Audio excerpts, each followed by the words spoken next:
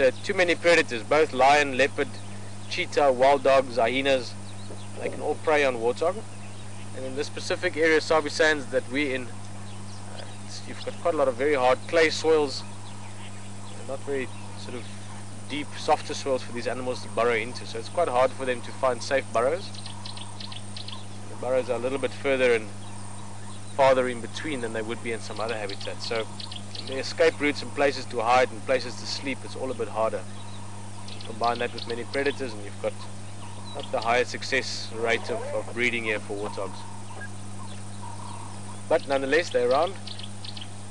Always nice to see little pumbas.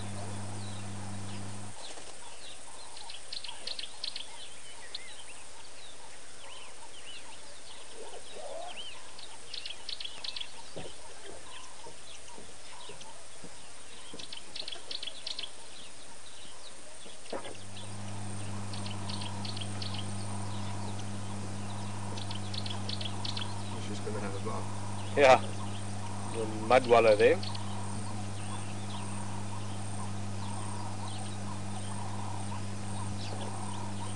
Warthogs, like most other animals that don't have hair on the skin, compare them to things like buffalo and rhino maybe, they love a good mud wallow.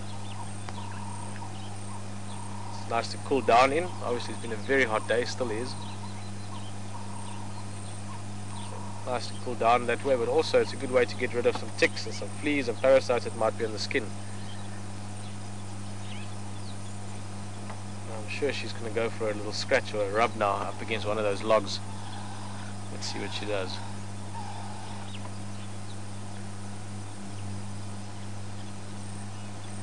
Had a question come through from Claire regarding these sort of water plants growing on the water, Gowrie waterhole. I must be honest with you, I can't remember the name for them anymore. They don't have an English name, only a scientific name. But um, they should flower sometime. Again, I can't remember exactly when, but I think later into summer they actually make beautiful yellow flowers. I remember in about 2002 we had a fantastic leopard sighting here once, and I photographed these leopards on these yellow flowers. It looked amazing. So I'm sure we'll get that again soon, Claire. So we're gonna maybe move on soon, but as soon as there's some flowers on it, we'll have a proper look at it.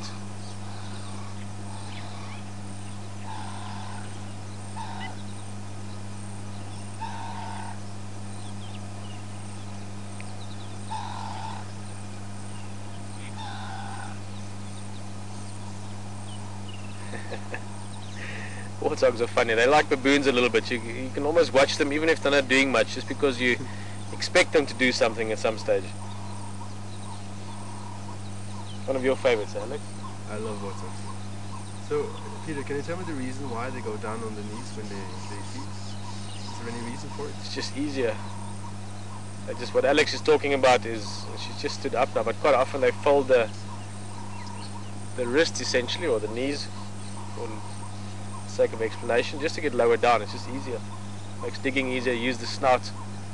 Got a very hard ridge on top of the nose as well, warthogs. They use those tusks a little bit for digging, but typically most of the digging, like pigs, they use the the hard upper edge of the nose or the snout. So they're actually sniffing as they dig as well.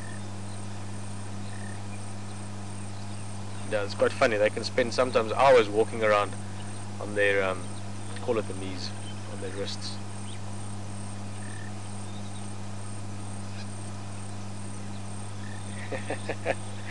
Scrawny little piggy. Typically they've got three or four, five even piglets, early summer.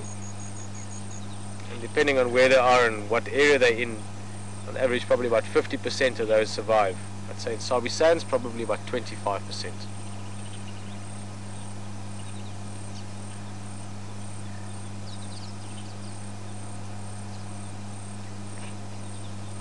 Okay, I think we're gonna continue on a little bit. Have a quick look at those plants. Alex, just have a look through here. This is the sort of plants Claire was talking about. Like I said, we'll have another look at it another time when these things are actually in flower. They make these small yellow flowers. It's quite beautiful. Nice and lush, growing in the shallows of the water. Kudus also eat it, but waterbuck especially feed on this quite often.